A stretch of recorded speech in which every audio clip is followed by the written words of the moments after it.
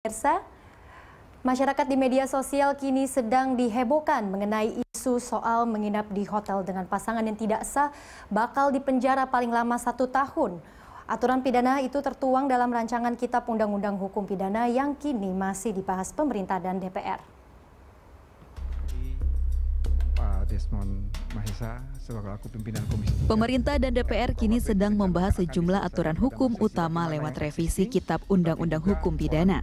Salah satu aturan yang diubah dan diperkuat termasuk mengenai kesusilaan dan perzinaan.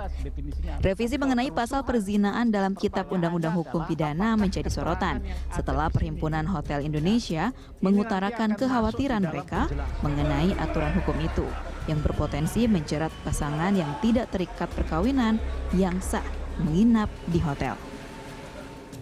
PHRI menilai aturan itu akan memberikan pengaruh negatif terhadap sektor pariwisata dan perhotelan. Ketua DPP PHRI DKI Jakarta Sutrisno Iwantono menyebut, wisatawan asing dipastikan ogah masuk ke Indonesia jika masih ada pasal perzinaan. Pasal perzinaan yang tertuang dalam RKUHP memang tak spesifik, menyebut pasangan yang tidak sah menginap di hotel bakal langsung dipidana penjara, paling lama setahun dan juga denda.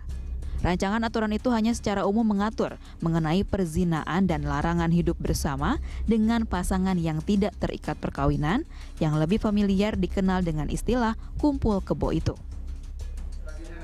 Pemerintah menyebut aturan mengenai pidana perzinaan hanya dapat diberlakukan jika ada yang melaporkan atau yang disebut sebagai delik aduan. Orang yang dapat melapor tindak pidana perzinaan itu hanyalah pasangan yang sah, terduga pelaku perzinaan, atau orang tua serta anak dari terduga pelaku perzinaan.